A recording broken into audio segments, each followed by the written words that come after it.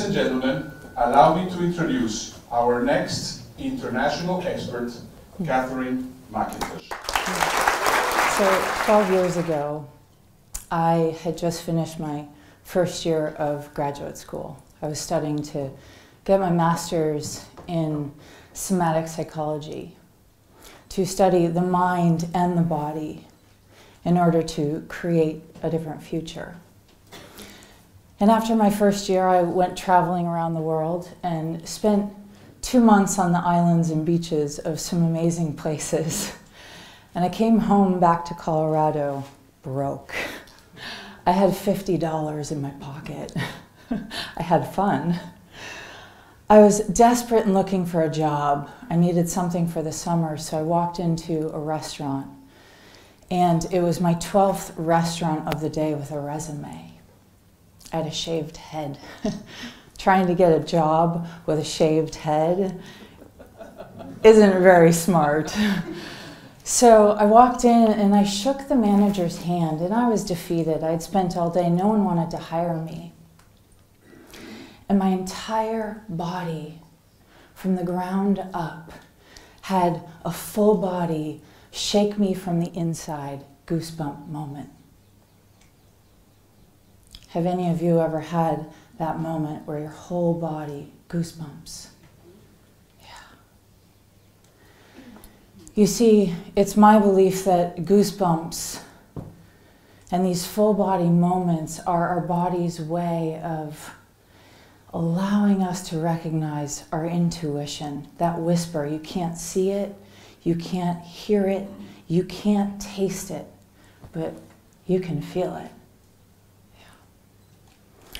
And so, this intuition, this goosebump moment, I believe, recognizing those is the difference between being a great, phenomenal leader. You see, leaders create a future we, we can't yet see. So we have to trust something. Now, science tells us that there are more brain stem cells in our guts, in our bodies, than in our minds. So I've learned over the years that listening to this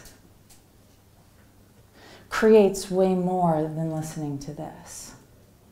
Steve Jobs, if he would have listened to everybody's no, we wouldn't have the technology we do today.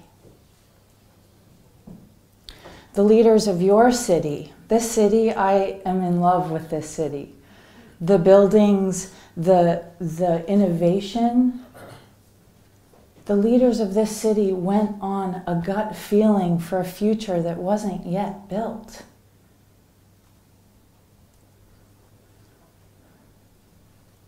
And so it's these goosebump moments that our gut feeling, it guides us to a different reality. You see, when my son was two weeks old, I was, the plan was to be a stay at home mom. And my husband was going to raise the income. And it, that husband was the man who, whose hand I shook and gave me full body goosebumps. But he came home after my son was literally two weeks old, and I'm nursing him, and he says, I'm really sorry, but I quit my job.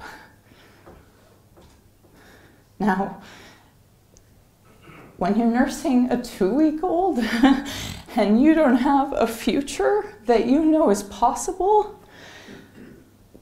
it kind of does something to your whole body.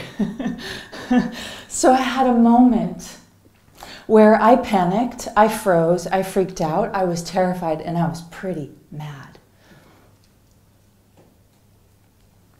And then I used my gut and after three months old, my son was three months old, and there was no income coming in, and my husband wasn't quite getting the entrepreneurial brain. So I knew I had to do something. And I did something completely insane. Really. I asked a three month old what he thought of my vision of our future. Who does that? I do, right? And so, you want to know what he did? He giggled and he smiled and he gave me so much energy. And I knew in that moment that was all I needed. That was all I needed. And so I did something crazy and built a business in less than 10 months around the world and traveled with my son and my family. He has more passport stamps than most US citizens. Yeah? He's been on more planes than most adults in the US. And so I followed my gut instinct to build an incredible business. And the leaders of this city, I think they're crazy too. because they built the tallest building in the world on sand. To me, that's a little insane. And so, my invitation to you is there is a knowing inside of you, your gut, your body, your intuitive knowing. It knows more about the future than your mind. And so, it's great to use your mind to make business decisions and calculated risks. But next time you're faced with something you don't know the outcome of, my invitation to you is ask your gut, ask your body, and find out what's true for you because your knowing is greater than any no on the planet. There are a lot of leaders here in the room that want to create a future that doesn't yet exist. And my invitation is please follow your knowing. Trust your intuition and be bold enough so that in a few years' time we're looking at you as the next iconic leader. Thank you.